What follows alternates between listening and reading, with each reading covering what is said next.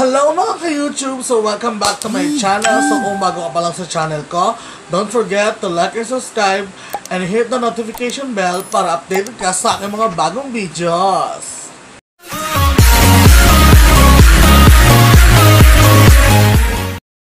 So ngayon guys, so ang video natin ngayon is offline hanap milk tea. So maghahanap tayo kung saan merong milk tea shop.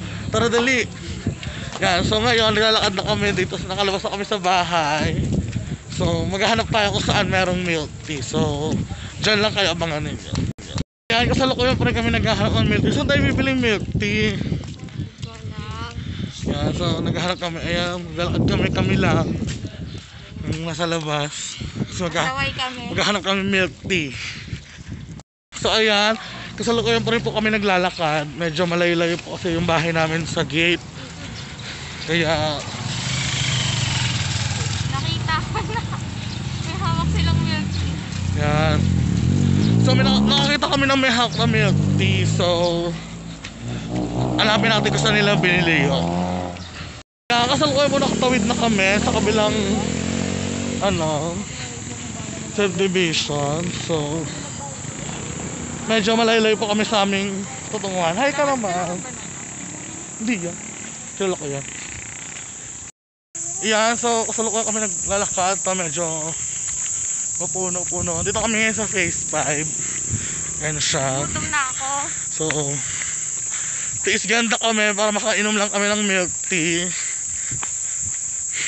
So, syempre, matagal din kasi pag-deliver. So, mas maganda yung pupuntahan mo talaga yung yung tindahan. Ano lang to, um, tagong tindahan lang siya dito sa phase 5.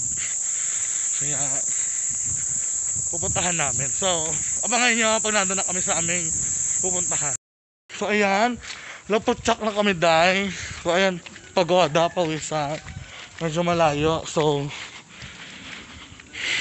meron konti na lang. Lapit na. Ayan guys. Kamali kami ng ano, ng kanto na pinasukan. Doon pala yung sa kabila. Ano madam? Okay ka pa? Gutom na ako eh. Ayan. So guys, andito na tayo sa bilihan ng milk tea. So guys, andito kami ngayon. So, ayan, sabay nila ate. Ako cheesecake. Lang. Okinawa cheesecake, tsaka, akin ano, winter melon, yung large. Oo. Yung pinakamalaki. Ayan, ito yung pwesto ni ate. Ayan. Ay, oh, diba? Sulit ang pawis natin, Day. Mga Day. Ayan, ayan si ate, oh. Nagtatago yung pwesto niya, kaya kailangan susuyurin pa natin. Bestie, ayan. Ayaw plain na. Cheesecake. Bestie, yan. So. So, guys, so, ayun yung pwesto nila ate. So, ayun, nakabili na kami ng milk tea namin. So, tikman na natin kung ano lasa.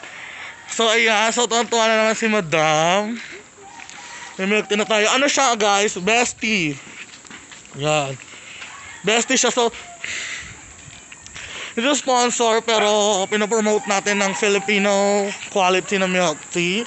So, ayan. So, dinayo pa namin siya ni madam. Yan. Finally. Yes, finally. So, hanggang dito na lang po itong video na to. So, don't forget to like and subscribe. Bye-bye!